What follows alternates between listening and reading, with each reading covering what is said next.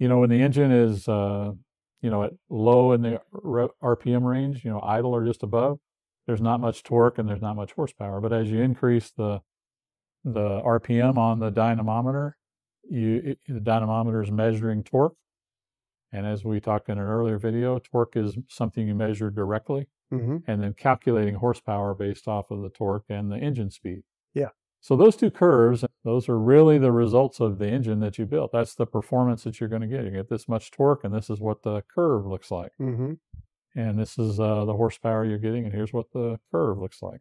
Uh, again, torque and horsepower versus RPM. hmm So when you talk about rolling over, that's when they quit the torque and the horsepower stop increasing and they roll over and start decreasing. Okay. And so testing beyond those points is really not beneficial, Right. typically.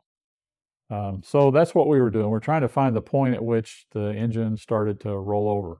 And so the, you know, we were uh, debating on what uh, speed, uh, RPM to stop the test at, because that's something you have to decide before you start the test.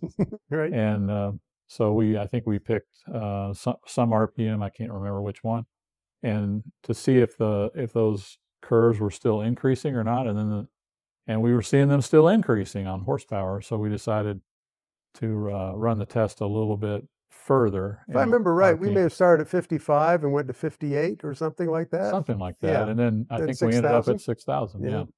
And uh, so we're looking at the point at which it uh, tips over or rolls over. Tips over. That's another phrase. Yeah. And is it, I guess, a function a lot, just air, the flow of the air, the breathing from the cam and the valves? Like, I guess those are all components of that when it stops making more Yeah, power. and uh, back in our, uh, I don't know, back last year we did a performance flathead performance video, but that those that uh, information is applicable to any any engine really.